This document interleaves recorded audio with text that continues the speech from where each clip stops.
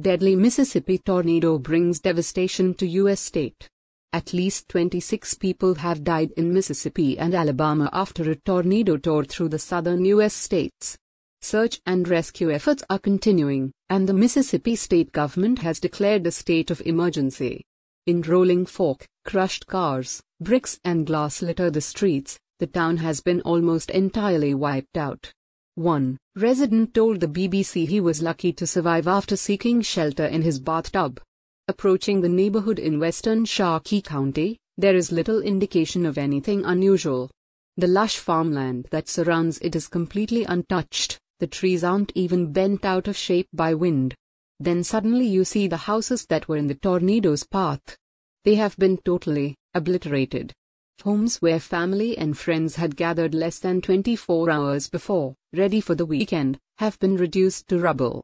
Timber frames have been snapped into pieces. There are upturned washing machines, but it is impossible to identify anything that might have been a kitchen. Amongst the rubble, there are vehicles that have been tossed around like toys. There is the occasional children's toy and other signs of the lives that were lived here just hours earlier.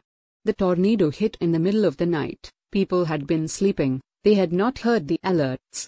For many, the first indication that something terrible was happening was the noise. Francisco McKnight told the BBC it was a miracle that he is alive.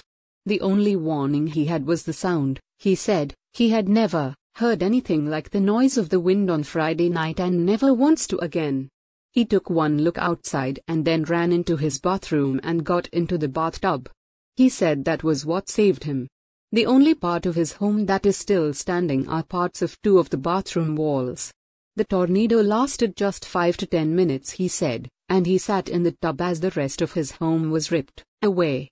For now, he's staying in one of the shelters that have been set up in the area. He does not know what he will do next, but he says somehow he will rebuild his life.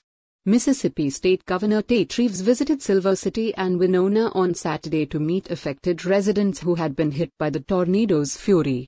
Sharing an update on Twitter, Mr. Reeves described the situation as a tragedy, writing, We are blessed with brave, capable responders and loving neighbors. Please continue to pray. The search and rescue efforts will continue in Mississippi as more storms are predicted to hit parts of Alabama and Georgia early on Sunday and potentially bring large hail.